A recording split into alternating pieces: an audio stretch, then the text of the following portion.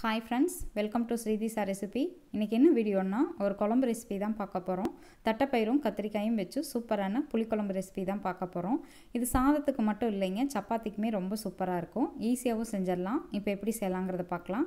நான் வந்து இன்றைக்கி ஒரு வானலியில் அரைக்கப் அளவுக்கு தட்டைப்பயிர் எடுத்திருக்கேங்க. அதை வந்து மீடியம் ஃப்ளேமில் வச்சு நல்லா வறுத்துக்கோங்க. அதோட கலரும் மாறணும். அது பார்த்திங்கன்னா நல்லா வெடிச்சு வரும். அந்த ஸ்டேஜ் வர வரைக்கும் நல்லா இந்த மாதிரி வறுத்துக்கோங்க. இப்போ பாருங்கள் நல்லா கலரும் சேஞ்ச் ஆயிடுச்சு நல்லா வறுபட்டுருச்சு. இப்போ இதை ஆஃப் பண்ணிடலாம். இதை வந்து நல்லா தண்ணி ஊற்றி ரெண்டு டைம் கழுவிக்கோங்க. அதுக்கப்புறம் நீங்கள் எந்த கப்பில் தட்டைப்பயிறு எடுத்தீங்களோ அதே கப்பில் நாலு கப் அளவுக்கு தண்ணி கொஞ்சமாக உப்பு சேர்த்து ஒரு மூணு விசில் வர்ற வரைக்கும் குக்கரில் வேக வச்சு எடுத்துக்கோங்க. இது வேகிறதுக்குள்ளே நம்ம குழம்பு ரெடி பண்ணிடலாம். இப்போது ஒரு பாத்திரம் வச்சுருக்கேங்க. அதில் நான் தேங்காய் சேர்த்துக்க போகிறேன் இந்த குழம்புக்கு தேங்காய் தான் நல்லா டேஸ்ட்டாக இருக்கும். அப்படி இல்லைன்னா நீங்கள் நல்லெண்ணெய் சேர்த்துக்கோங்க. அதுவும் நல்லாயிருக்கும் எண்ணெய் சூடேறினதுக்கப்புறம் கால் டீஸ்பூன் கடுகு கால் டீஸ்பூன் வெந்தயம் கால் டீஸ்பூன் சீரகம். இதெல்லாம் சேர்த்து நல்லா பொரிஞ்சதுக்கப்புறம் நான் ஒரு பெரிய வெங்காயத்தை இந்த மாதிரி கட் பண்ணி வச்சுருக்கேங்க. அதையும் சேர்த்துக்கலாம். அதுக்கப்புறம் ஒரு கைப்பிடி அளவுக்கு சின்ன வெங்காயம். அதை வந்து இந்த மாதிரி ஒன்றா ரெண்டாக கட் பண்ணிக்கோங்க. ஒரு கொத்து கருவேப்பிலை ஒரு ஃப்ளேவருக்காக ஒரே ஒரு பச்சை மிளகாய் இந்த மாதிரி நான் கீரி சேர்த்துக்கிறேன். இப்போ இதெல்லாம் சேர்த்து நல்லா வதக்கிக்கோங்க. வெங்காயம் வந்து கொஞ்சம் வதங்கணும்.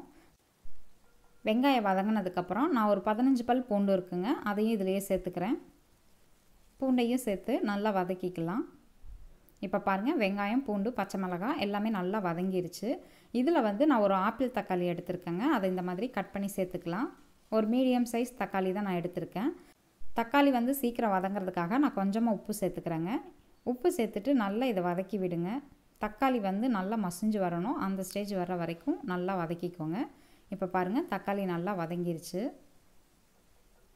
இப்போ இதில் வந்து மசாலா தூளெல்லாம் சேர்த்துடலாம். கால் டீஸ்பூன் மஞ்சள் தூள் ஒரு டீஸ்பூன் மல்லித்தூள்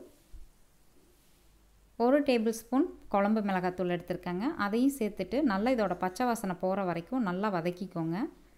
ஃப்ளேம் வந்து சிம்மில் வச்சுக்கோங்க. அப்போ தான் அடி பிடிக்காது. இப்போ பாருங்கள் இதோட பச்சை வாசனை எல்லாமே போயிடுச்சு. நல்லா வதங்கிருச்சு. இப்போ இதில் பார்த்திங்கன்னா நான் மூணு கத்திரிக்காய் எடுத்திருக்கேங்க. அதாவது பச்சை கத்திரிக்காய் மூணு கத்திரிக்காய் எடுத்து இந்த மாதிரி பெரிய பெரிய பீஸாக கட் பண்ணி வச்சுருக்கேன். இப்போ அதையும் சேர்த்து நல்லா வதக்கிக்கலாம்.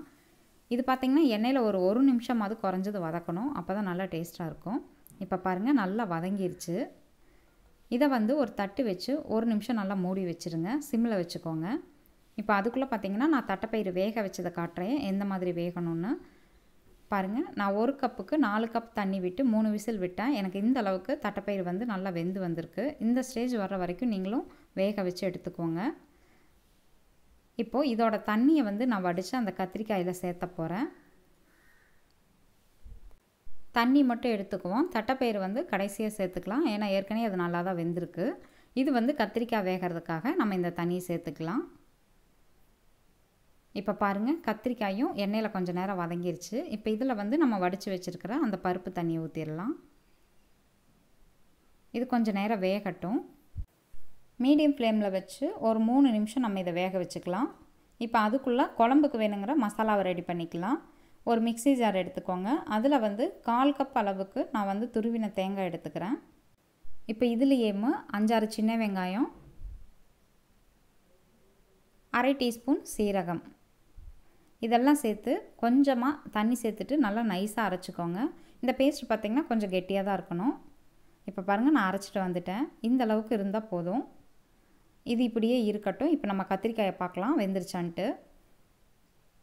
இப்போ பாருங்கள் கத்திரிக்காய் வந்து பாதி அளவுக்கு வெந்துருச்சு. இப்போ இந்த ஸ்டேஜில் நம்ம ஏற்கனவே வேக வச்சுருக்கிற அந்த தட்டைப்பயிறு இதுலேயே மிக்ஸ் பண்ணிக்கலாம். இப்போ இதில் வந்து கொஞ்சமாக புளி சேர்த்துக்கலாம். நான் வந்து இன்றைக்கி ஒரு பெரிய நெல்லிக்காய் சைஸ் அளவுக்கு புளி ஊற வச்சு இந்த மாதிரி கரைச்சி வச்சுருக்கேங்க. அதையும் இப்போ இதில் சேர்த்துக்கலாம். இப்போ இதில் வந்து குழம்புக்கு தேவையான அளவுக்கு உப்பு சேர்த்துக்கலாங்க. ஏற்கனவே நம்ம தட்டைப்பயிரும் கொஞ்சமாக உப்பு சேர்த்து வேக வச்சுருக்கோம். அதே மாதிரி தக்காளி வதங்குறதுக்கும் நம்ம சேர்த்துருக்கோம். அதனால் அளவாக பார்த்து சேர்த்துக்கோங்க. இப்போது உப்பு சேர்த்துனதுக்கப்புறம் நல்லா மிக்ஸ் பண்ணி விட்டுட்டு இதை வந்து சிம்மில் வச்சு ஒரு அஞ்சு நிமிஷம் நல்லா வேக வச்சுக்கலாம்.